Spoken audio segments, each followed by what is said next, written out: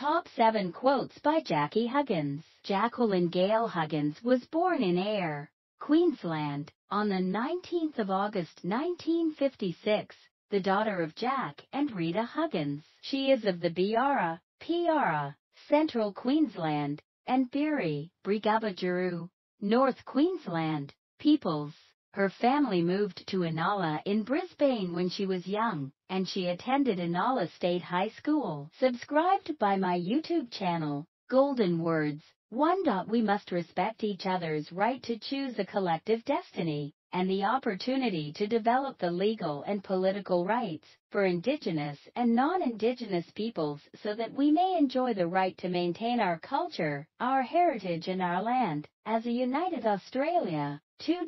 Citizenship has not delivered Indigenous Australians the same quality of life other Australians expect. Basic human rights involve health, housing, education, employment, economic opportunity, and equality before the law, and respect for cultural identity and cultural diversity. These human rights must be capable of being enjoyed otherwise they are empty gestures. 3. The true essence of reconciliation is more than making friends with non-Indigenous people. Our motto is United Australia, one that respects the land and the heritage of its Indigenous peoples and provides justice and equity for all. I think reconciliation is about changing the structures that govern us and trying to influence opinion leaders in whatever way we can. 4. It's a very Aboriginal thing to do, to give younger people greater responsibilities within the community as they become able to take those responsibilities on. It is a culturally appropriate transfer of roles that involves respect in both directions from the younger to the older and the older to the younger. 5.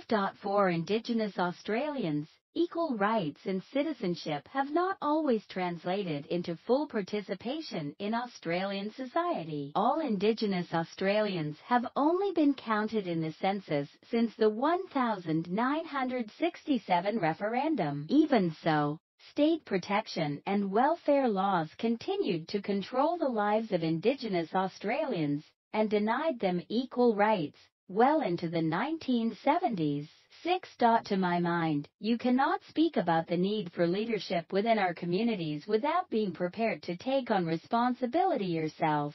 It's not enough to point the finger at those who have let us down and to expect others to come forward and fix our problems. Nor can anyone afford to call themselves a leader unless they truly have the interests of our community at heart. Too many people like to think they are leaders and too many are identified by the media as leaders who are not really leaders at all. 7. We have reached a pivotal time in Indigenous affairs when for the first time, national attention is being paid to the horror of Indigenous family violence in this country. For the first time, an Australian Prime Minister has held a summit in the national capital to listen to concerns and ideas on this issue from a group of Indigenous leaders.